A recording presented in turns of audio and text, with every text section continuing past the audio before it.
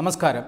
Covid എന്ന നമുക്ക് അജ്ഞാതമായിരുന്ന ഒരു മഹാമാരി രണ്ടായിരത്തി ഇരുപതിൽ മെല്ലെ ഭാരതത്തിലേക്ക് കടന്നുകയറിയപ്പോൾ ജനം ഭയപ്പാടിലായി. ആളുകൾ തെരുവിൽ വീണു മരിക്കുന്ന ഭീകര ദൃശ്യങ്ങളും നിറം പിടിപ്പിച്ച കഥകളും പരന്നു. മെല്ലെ മെല്ലെ കോവിഡ് നമ്മുടെ അടുക്കലേക്ക് വന്നുകൊണ്ടിരുന്നപ്പോൾ ഒരു ദിവസത്തെ ജനതാ കർഫ്യൂ എന്ന തയ്യാറെടുപ്പിന് ശേഷം ദിവസങ്ങൾക്കുള്ളിൽ ഈ മഹാരാജ്യം അടച്ചിട്ടു. മാസങ്ങൾ നീണ്ട അടച്ചിടലിനും കടുത്ത നിയന്ത്രണങ്ങളും നമ്മൾ ചിന്തിച്ചിരുന്ന ഒരു കാര്യം എന്നുവരെ ഈ നിയന്ത്രണങ്ങൾ എന്നാണ്. ആ അന്വേഷണങ്ങൾക്കുത്തരം വാക്സിൻ എത്തുന്നതുവരെ എന്നായിരുന്നു. ഒരു വാക്സിൻ വികസിപ്പിക്കുന്ന രീതിയെയും നിയമാവലിയെയും അതുപോലെ തന്നെ സമയക്രമവും എല്ലാം നമ്മൾ ഇന്റർനെറ്റിൽ പരതി. രണ്ട് മുതൽ പത്ത് വർഷം വരെ വേണ്ടിവരും ഒരു വാക്സിൻ വികസിപ്പിക്കുന്നതിന് എന്ന നിരാശാജനകമായ ഉത്തരമാണ് നമുക്ക് ലഭിച്ചത്. ഇനി ഏതെങ്കിലും രാജ്യം വാക്സിൻ വികസിപ്പിച്ചാൽ തന്നെ അത് ഇന്ത്യയിലെത്താൻ എത്ര നാൾ വേണ്ടിവരും വന്നാൽ തന്നെ അതിന്റെ വില എന്തായിരിക്കും? പണമുള്ളവർ അത് വില കൊടുത്തു വാങ്ങുമ്പോൾ പാവപ്പെട്ടവൻ എത്ര നാൾ കാത്തിരിക്കണം?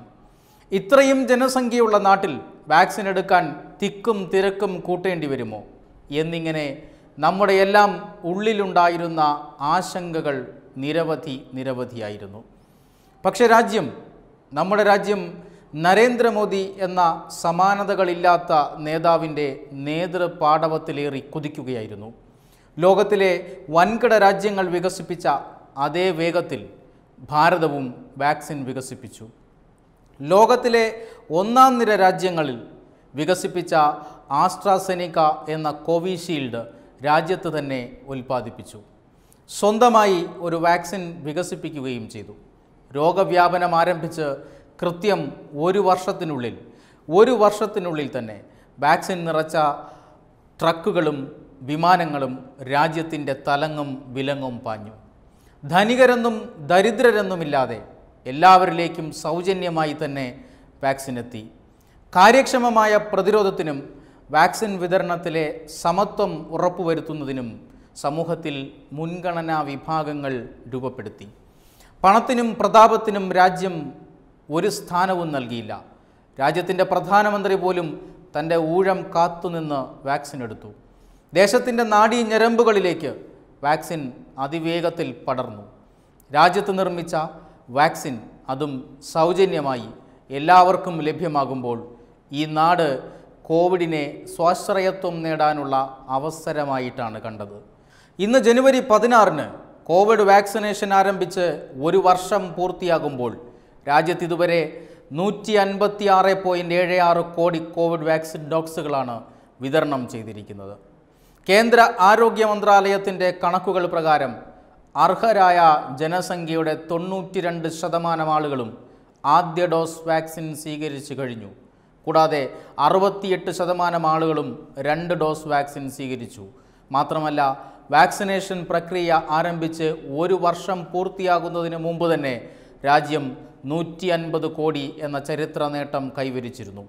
ഒക്ടോബർ ഇരുപത്തി ഒന്നിനാണ് രാജ്യം പ്രതിരോധ കുത്തിവയ്പിൽ നൂറ് കോടി എന്ന നാഴികക്കല്ല് പിന്നിട്ടത്. പ്രതിദിനം ശരാശരി അറുപത്തിയാറ് ലക്ഷത്തിലധികം വാക്സിൻ ഡോസുകൾ രാജ്യത്ത് വിതരണം ചെയ്തു വരുന്നു കൂടാതെ ഇപ്പോൾ മൂന്നാം തരംഗത്തെ പ്രതിരോധിക്കാൻ കരുതൽ ഡോസുകളും വിതരണം ചെയ്യുന്നുണ്ട്. രണ്ടായിരത്തി ഇരുപത്തിയൊന്ന് ജനുവരി പതിനാറിനാണ് രാജ്യത്ത് വാക്സിനേഷൻ ആദ്യം ആരംഭിച്ചത്. ആദ്യഘട്ടത്തിൽ ആരോഗ്യ പ്രവർത്തകരാണ് പ്രതിരോധ കുത്തിവയ്പ് സ്വീകരിച്ചത്.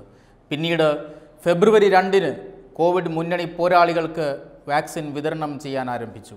മാർച്ച് ഒന്നിന് അറുപത് വയസ്സിന് മുകളിലേക്കുള്ളവർക്കും നാൽപ്പത്തിയഞ്ചിന് വയസ്സിന് മുകളിലേക്കുള്ള അനുബന്ധ രോഗങ്ങളുള്ളവർക്കും വാക്സിൻ നൽകാൻ ആരംഭിച്ചു. ഏപ്രിൽ ഒന്ന് മുതലാണ് നാൽപ്പത്തിയഞ്ച് വയസ്സിന് മുകളിലുള്ള ഏവർക്കും വാക്സിൻ നൽകാൻ ആരംഭിച്ചത്. പിന്നീട് ഓരോ ഘട്ടമായി മറ്റു പ്രായക്കാർക്കും കോവിഡ് വാക്സിൻ സൗജന്യമായി തന്നെ നൽകാൻ ആരംഭിച്ചു. നിലവിൽ രാജ്യത്ത് കൗമാരക്കാർക്കും വാക്സിൻ നൽകി വരികയാണ്. ഈ വേഗതയിൽ ഈ കാര്യക്ഷമതയിൽ വാക്സിനേഷൻ നടത്താൻ സഹായിച്ചതാകട്ടെ രാജ്യം സ്വന്തമായി വികസിപ്പിച്ച കോവിൻ എന്ന ഓൺലൈൻ പ്ലാറ്റ്ഫോമും. തിരിഞ്ഞു നോക്കുമ്പോൾ ഒരു കാര്യം ഉറപ്പിച്ചു പറയാം.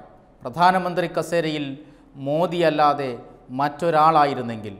ഏതെങ്കിലും വികസിത രാജ്യം നിർമ്മിക്കുന്ന മരുന്ന് റോയൽറ്റി കൊടുത്തു വാങ്ങാൻ ഇന്ത്യൻ ജനത കാത്തിരിക്കേണ്ടി വന്നേനെ. വെബ് ഡെസ്ക് തത്തുമയി ന്യൂസ്.